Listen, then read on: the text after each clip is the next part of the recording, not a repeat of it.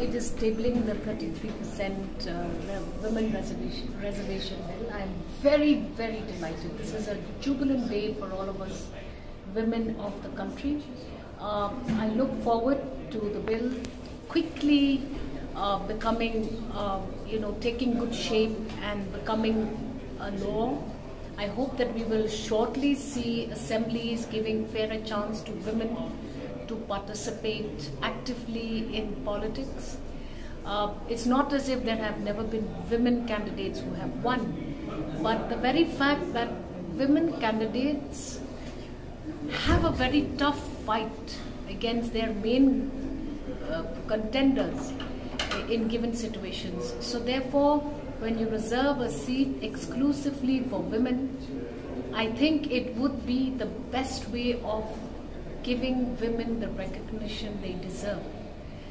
Whether or not we have candidates, I don't think there will be a dearth of talent in the state of Meghalaya. We have women who are very active in all spheres of work.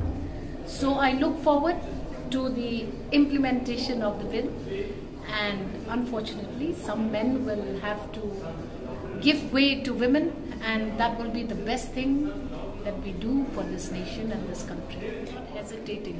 Most male candidates win because of their women's support. That has been established in several researches. It is already researched and already research indicate that and women will be ready. I have seen men who are very emotional and are thriving in politics. So just let's not find fault at women under no circumstances. In fact, the mind and the mettle of a woman can never be matched by a man. We are calm, we are poised, we do not easily display emotions, unlike most men.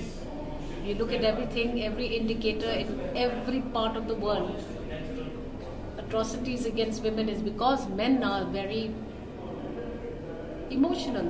That is a, a, a the basic uh, shortfall or shortcoming of a man's character. But we are not scrutinizing anyone here.